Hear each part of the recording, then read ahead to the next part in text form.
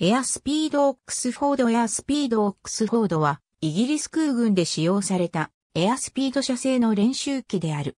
1937年に採用されてから上級練習機として利用され、第二次世界大戦中には連絡機や病院機としても使用された。戦後も引き続き練習機として利用され、退役したのは1954年であった。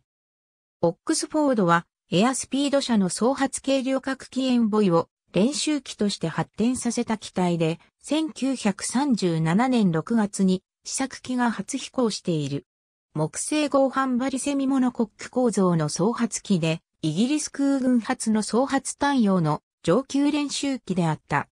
1937年11月から収益を開始し、操縦、後方、射撃、爆撃などのあらゆる訓練に使用された。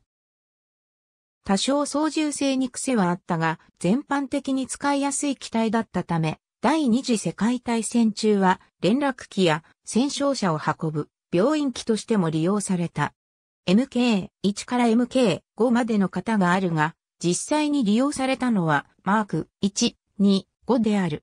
生産はエアスピード社のほか、デハビランド社、パーシバル社でも行われ、合計8751機製造された。